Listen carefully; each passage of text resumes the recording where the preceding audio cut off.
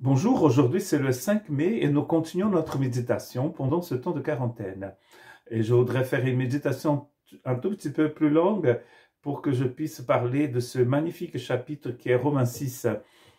Euh, et donc je voudrais lire dans Romains 6, euh, verset 1. Que dirons-nous donc? Demeurerions-nous euh, dans le péché afin que la grâce abonde?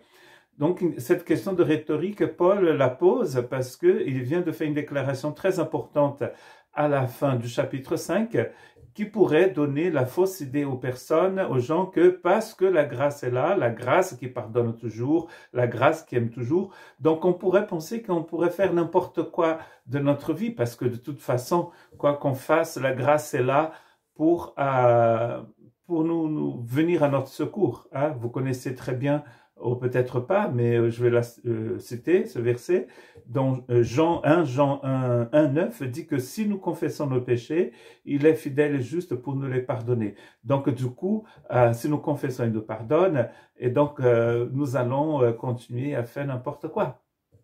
Mais il va nous expliquer justement que c'est pas possible. Donc, j'habite dans les Pyrénées-Atlantiques, entre l'océan et l'Atlantique, euh, entre l'Atlantique et la, et la montagne. Et à la montagne, donc les Pyrénées sont, sont magnifiques, hein, vous le savez. Euh, mais ce que je n'aime pas trop dans les Pyrénées, ce sont certaines routes. Et, y a de ces routes dans les Pyrénées que chaque fois que j'ai... Euh, ben, j'aime bien aller tout en haut pour voir le paysage et tout, mais la route, ça me fait très peur. Et euh, on peut imaginer que, euh, donc en roulant, en descendant surtout euh, dans, cette, dans cette montagne magnifique, nous allons trouver des endroits très dangereux. Donc voilà pourquoi nous avons mis des, panneaux hein, pour, pour dire aux gens que dans 50, 50 euh, mètres, 100 mètres, 1 kilomètre, il y aura des virages euh, assez dangereux, souvent sans aucune barrière. Donc, il faut rouler pas trop vite et il faut faire très attention. Donc, Romains 6, c'est plutôt, euh, c'est plutôt cela. donc, un Jean, on, pourrait dire que 1 Jean 1, 9, c'est, l'hôpital qu'on a mis en bas, tout en bas, au cas où vous tombez. Et si vous arrivez encore vivant, on peut vous, euh, vous amener dans cet hôpital, dans cette clinique. Donc, on pourrait les mettre à chaque euh, virage dans la montagne pour euh, secourir, les gens qui tombent.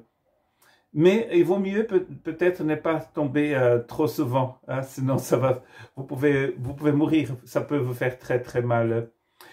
Et donc, en fait, regarde, euh, écoutez ceci. Donc, quand, à la fin du chapitre 5, il avait dit ceci, afin que comme le péché a régné par la mort, ainsi la grâce règne par la justice pour la vie éternelle par Jésus-Christ notre Seigneur. Et après, il commence en disant, donc voilà, la grâce règne pour la justice, pour la vie éternelle. Euh, donc, du coup, euh, la grâce est là. Quoi que je fasse, la grâce sera là. Mais en fait, c'est pas possible. Il dit, est-ce qu'on peut demeurer dans le péché une fois euh, qu'on a touché, que la grâce nous a touchés?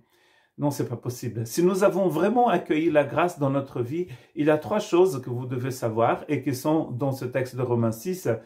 Euh, moi, j'enseigne je, je, chaque fois à toute personne qui va se faire baptiser dans notre communauté. Euh, je commence par Romains 6. Notre formation commence par Romains 6. D'ailleurs, je l'appelle des trois mots que je vais vous euh, euh, utiliser pour, pour, cette méditation. Euh, le premier mot, c'est savoir. Ça, c'est la première chose. Après, il y a le mot considérer, le verbe considérer, et après, se, donner. Hein, se donner, s'offrir au Seigneur. Qu'est-ce qu'il faut savoir hein? C'est la première chose, vous notez, il a le numéro un, c'est savoir. Qu'est-ce qu'il faut savoir? Donc, ce qu'il faut savoir, c'est que nous avons été baptisés dans la mort du Christ. Nous avons été baptisés dans son tombeau et nous avons été baptisés dans sa résurrection. C'est ce qu'il va dire dans le chapitre 6, le verset 3, 6 et 9. Il va parler justement de ce qu'il faut savoir. Le mot baptisant ici, euh, baptiser, le verbe baptiser, vient d'un mot grec, baptisant, qui a une, une la connotation est identifier, s'identifier, être identifié. Ah, le, mot lui-même veut dire plonger, hein, couler, plonger. Et on pense que ce mot a été beaucoup utilisé au premier siècle pour la teinture des tissus. Quand on voulait changer la couleur d'un tissu, on jetait le tissu dans un bain où il avait de la, la, teinture, la couleur de la teinture qu'on voudrait. Hein. J'imagine qu'à l'époque, ils n'avaient pas autant de couleurs qu'aujourd'hui, autant d'options. Et le tissu, une fois plongé dans cette eau, il allait, donc une fois baptisé dans cette eau, il allait changer de couleur. Il allait s'identifier à cette couleur. Donc là, nous avons été identifiés au Christ dans sa mort, dans, dans son tombeau, dans sa résurrection. Et cela, dans le texte, apparaît au passé. Donc ça veut dire que c'est déjà fait. Donc en fait, qu'est-ce que ça veut dire? Ça veut dire que le jour où le Christ est mort, nous sommes morts pour le péché, nous sommes morts pour le mal, pour tout ce qui nous, nous détruisait. Christ a amené tout ça dans le tombeau. Nous avons été donc identifiés à lui dans son tombeau, baptisés dans son tombeau. Quand il sort du tombeau, nous sortons aussi et nous pouvons vivre une nouvelle vie. Ça, c'est très important de savoir parce que ça, c'est une œuvre de la grâce. La grâce nous a sauvés justement pour nous délivrer de ce qui est mauvais. Donc c'est pour ça que la question de Paul était très intéressante. Comment pourrions-nous vivre encore dans le péché, nous qui sommes morts au péché? Donc c'est pas possible. Si vous lisez Romains 6, vous allez voir au chapitre 6, verset 3, 6 et 9, que chaque fois il a dit, est-ce que vous ne savez pas? N'êtes-vous pas au courant Il faut savoir, ça c'est très important. La deuxième chose, le deuxième mot qui n'est pas magique mais qui est tout à fait spécial, c'est le verbe considérer. Le verbe considérer, c'est un verbe qui vient euh, du monde de l'économie. Hein. Comme beaucoup de choses dans la Bible, hein, beaucoup de mots dans le Nouveau Testament souvent viennent euh, de ce monde aussi, hein, de l'économie. Paul lui-même va utiliser le mot économie. Euh, donc en fait, le mot considérer veut dire calculer. Qu'est-ce qu'il faut calculer? Reconnaître, calculer. Mais il faut reconnaître que toutes ces choses sont vraies et surtout qu'elles sont vraies pour vous. Vous connaissez le texte qui dit que l'arbre se connaît à ses fruits?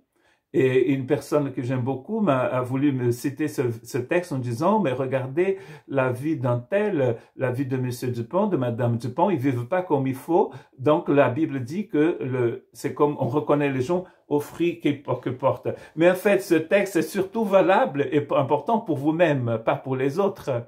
Nous n'avons pas le droit de juger l'autre.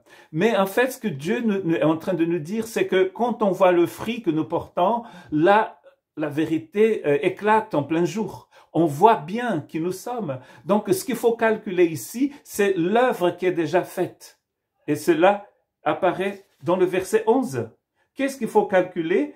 Calculer comme vous êtes mort pour le péché et vivant pour Christ. C'est-à-dire, reconnaissez Faites les calculs. 2 plus 2 égale, faites le calcul. Reconnaissez que ce que Dieu dit est vrai. Vous êtes mort pour le péché et vivant pour Jésus-Christ.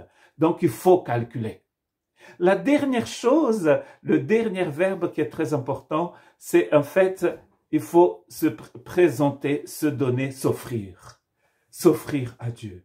C'est comme si le Christ frappe à la porte. Quand le Christ frappe à la porte, quand la grâce frappe à votre porte, pour revenir à nos moutons, euh, vous entendez sa voix et vous dites, Christ frappe à notre porte. Ça, je sais, je sais, il frappe à ma porte. Après, vous calculez et vous, pensez, mais qu'est-ce que le Christ est venu faire là? Il est, il est venu frapper à ma porte, pas à la porte de M. Dupont, de Mme Dupont, du, du pape, d'un pasteur, mais il est venu frapper à ma porte, grand pécheur que je suis. Vous considérez ça. Mais est-ce que ça sert à quelque chose si vous saviez, vous, vous, savez que Jésus est là, vous savez que c'est pour vous qu'il est venu, mais si vous n'ouvrez jamais la porte, la grâce ne peut pas rentrer. Elle va pas rentrer. Je suis à la porte, je frappe. Si quelqu'un entend ma voix et ouvre la porte, je rentre. Donc ce dernier verbe qui apparaît dans le verset, euh, dans le verset 13 et 14, il nous montre qu'il faut ouvrir la porte. Donc, euh, nous avons fait un calcul intelligent. On a bien considéré que Jésus est venu pour nous. Et donc, il a deux choses à faire. Soit j'ouvre la porte, ou soit je ne l'ouvre pas du tout. Et Paul nous dit qu'il faut considérer d'une façon négative, il faut ne pas présenter mon corps au mal, ne pas faire ceci et cela, et d'une façon positive, il faut offrir son cœur, sa vie, ces jours tout au Seigneur, à la grâce. Donc, est-ce que c'est possible pour nous, une fois que nous avons été touchés par la grâce, de vivre encore dans le péché? Est-ce que c'est possible de vivre dans le péché une fois que la vie éternelle a touché notre vie? Non, c'est pas possible. Pourquoi? Parce que nous avons été baptisés dans la mort, dans, le, tombeau et dans la résurrection de Jésus. J'ai bien considéré ça et je crois que je suis mort avec Jésus j'étais mis dans un tombeau avec lui et je suis vivant avec lui pour toujours. Cela, on pourrait appeler cela la proclamation d'émancipation du disciple du Christ.